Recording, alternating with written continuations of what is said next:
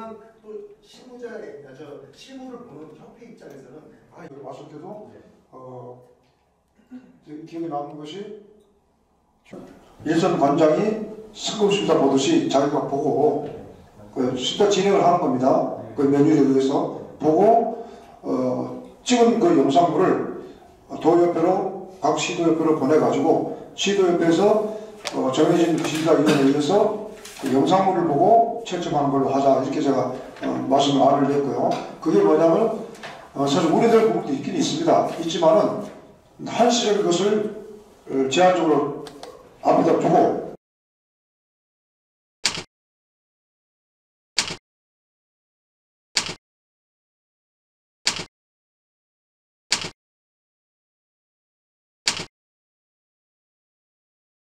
접수 과정이라고 있습니다. 접수 과정. 어, 온라인 접수하고 신청서 제출까지는 똑같은 방법 유지가 되고요. 그 다음에 찾아가는 심사 운영 매뉴얼에 따라서 어, 도장 안에서 심사가 이루어질 수 있도록 어, 만들어져 있는데 오른쪽에 방역 지침 관리라고 이렇게 저희가 하나 더 첨부를 해드렸는데 심사를 볼 때 이 방역 지침을 따라서 어, 심사 운영을 할 수 있도록 관장님이 좀 준비를 하셔야 됩니다. 준비하실 수 있도록 해서 어, 심사가 진행되어지고요. 심사 공간과 구성 배치 및 실기 과목 평가 기준 내용들은 국회의원 심사를 어, 준용할 수 있도록 했습니다. 심사 진행 절차와 방법도 어, 국회의원에서 지금 현재 하고 있는 심사 방법 그대로 도장에서 이루어질 수 있도록 절차를 제시했습니다. 마지막 운영 방안 세 번째 평가위원과 지도자의 평가는 앞에 어떤 유형이 결정되느냐에 따라서 어, 약간 달라 역할이 좀 달라질 수 있습니다. 이 부분은 어, 앞에서 안이 결정되어지는 것들을 보고 조금 더 구체적으로 만들어야 될 필요성이 있어 보입니다. 그래서 찾아가는 심사보다는 온라인 심사가 정부가 보기에도 어? 찾아가는 심사 모이는 거야? 이렇게 또 의견이 나올 수 있어요 정부에서 봤을 때. 그래서 찾아가는 심사라는 것은 이제 옛날 저기 동사무소에서 했던 뭐 그런 강의 내용인데 지금 코로나기 때문에 온라인 심사라는 게 아 차단하는 거구나. 그래서 그게 이미지가 좋다고 생각해서 온라인을 봤는데요 두 번째 하는 한 명만 파견하는 거죠 그거는 이제 세 명이 갈 게 아니라 그 채점관이 아니라 심사 담당관이에요. 그냥 가서 관장이 제대로 하고 있나 안 하고 있나 그건 관리를 좀 해야 된다 그렇게 좀한 거고요. 세 번째는 이제 지도자가 직접 아까 회장님께서 말씀하신 대로 지도자가 직접 하는 건데 그거는 어 뭐냐면 내가 품새를 갖다 틀렸습니다. 촬영했을 때 라이브가 아닌 걸 말씀해요. 라이브는 상관이 없어요. 근데 품새가 틀렸어. 그러면 다시 영상을 찍는 또 불신한 진사가 될 수 있기 때문에 어, 라이브를 지도자가 하게 되는 라이브를 좀 선택했으면 좋겠고요. 그 다음에 파견을 할 때는 한 명만 파견해서 감독할 수 있는 거 평가는 가냐면 안 되죠.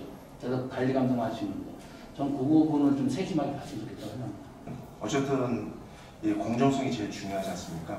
이렇게 지도자분들이 공정하게 잘 하겠죠. 하지만 그 개인이 개인 관장이 직접 자기가 동영상을 찍게 되면 아까 김동석 위원님 말씀하셨듯이 약간 이 문제점이 야기가 돼요. 그래서 어쨌든 여러 명이 가면 공정성은 확보가 되겠지만 그런 현실이 아니기 때문에 한 명은 가서 영상을 찍고 그 다음 그 영상이 라이브가 되는 라이브도 사실 문제가 좀 있습니다. 라이브로 실, 실시간으로 해서 그 와가지고 그 많은 인원들을 하려면 비용도 많이 듭니다. 사실 협회 입장에서는 그러다 보니까 그 영상을 찍어서 가지고 오면 가지고 오면 어, 시도협회 안에서 저희가 채점 위원들을 전부 다 불러서 이렇게 정리하는 방법이 제일 효율적인 것 같고 어, 그 어떤 공정성도 유지가 될 것 같습니다. 그래서 큰 틀에서 찾아가는 심사를 시행한다. 평가위원을 파견한다. 평가의 주체는 누구다? 최종 의결은 시도협회가 한다. 이 정도의 개념 정리가 되면은 어, 아마도 되지 않을까. 그리고 거기에서 한 명을 파견할지 두 명을 파견할지 세 명을 파견할지는 시도 지구의 살림 현황에 따라서 조금 어, 이렇게 좀 여유를 줘야지 한 가지 우리가 꼭 간과하면 안 되는 일들이 있는데요. 예산 심사 시행 수수료 정산의 방법입니다. 이게 실무자들끼리 논의했을 때 가장 큰 염려였었습니다. 이게 어, 이 코로나가 종료가 된 이후에 어, 문제의 소지를 계속 안고 가게 될 겁니다. 근데 국교원도 아마 같은 생각이라고. 보고 있습니다만 항목은 다르지만 집행 수, 시행 수수료에 대한 거는 가장 근사치의 지출 요소를 가져야 된다. 라는 생각을 하고 있습니다.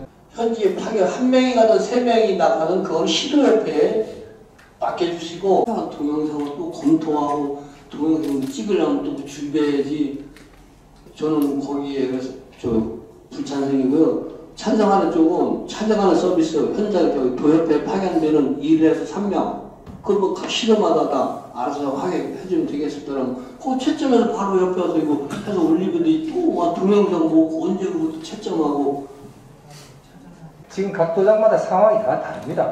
그 협회에서 파견한다는 것도 각 도장마다 이거 문제점이 있을 수 있으니까 2-4만 해가지고 지도자가 합격 불합격 판정하고 그다음 지도자 영상을 찍고 그걸 다 협회 올리면 나중에 문제 있으면 그 영상 보면 되지 않습니까? 근데 이걸 끝까지 관장님들 못 믿고 계속 형평성 따져버리면 지금은 더 이게 화가 날 거라고 생각해요. 각 도장 관장님이 심사 대상자들 가지고 심사 채점 다 결정 내고 그 찍은 모습들을 영상을 찍고 그래 해가지고 어, 판정 합격 불합격까지 다 해서 시도협회 올리면 시도협회를 그걸 가지고 검토하면 되지 않습니까? 내가 15만 원 냈는데 간장이라고 이렇게 해. 저는 여러 가지 문제가 복잡하게 부모 입장, 협회 입장, 간장 입장 그리고 간장이 혼자 한다? 감독관 없이? 그럼 우리 아시잖아요. 아이들 빌려주고 학기도도 막 듣고 했잖아요. 자, 학기도 아는 사람? 저한테도 연락이 왔어요. 학기도 도장 아는 사람인데 태권도단 좀 보게 할수 없냐? 전화 왔어요. 이런 분들도 있습니다. 그래서 저는 관장들한테 자유를 준다는 건 지금 시기상조다. 이건 아니다. 주시죠. 협회 입장도 또는 관장님들 입장도 당연히 공정성은 있어야 된다는 거예요. 공정성 없이 그냥 관장님들이 이렇게 의견을 제시한다? 약, 그거는 약간 문제가 있으니 현실적으로 좀이 협회도 책임지는 지도자도 책임지는 중간 입장에서 좀 이런 의견을 내는 게 맞는데 심사가 지금 너무 중요하니까 이걸 어떻게 하냐. 지금 현재 4단계에서 어, 최고 단계가 가가지고 심사를 못 하겠다 막아놨으니 이대로 있으면은 체육관이 지금 잘못하면 큰 사단이 나겠다. 그럼 어떤 방법을 찾냐. 자, 이를, 이 안을, 이 안을 만들어서 국회의원 4단계에서 3단계 풀릴 때까지 기다릴 것입니까?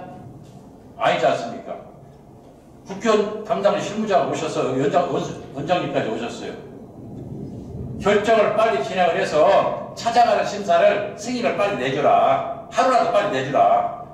지금 그것 때문에 하는 겁니다. 원가 계산할 때 체육관 없고 심사관 있고 청소비 있고 다 그것이 원가 계산으로 들어가는 총바른 학병들은 니희들 관장이 니희들 갖추면서 어 그거 다 빼.